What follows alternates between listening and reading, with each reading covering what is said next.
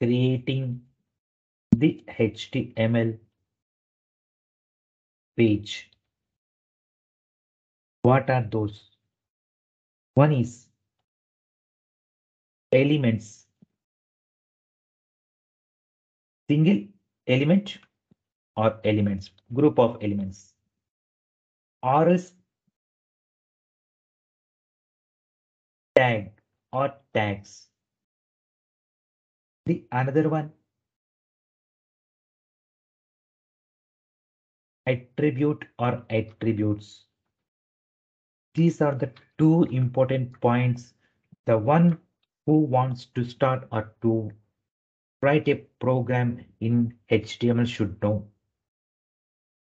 Because the total HTML is rounding up, the total HTML is executing or creating or wandering.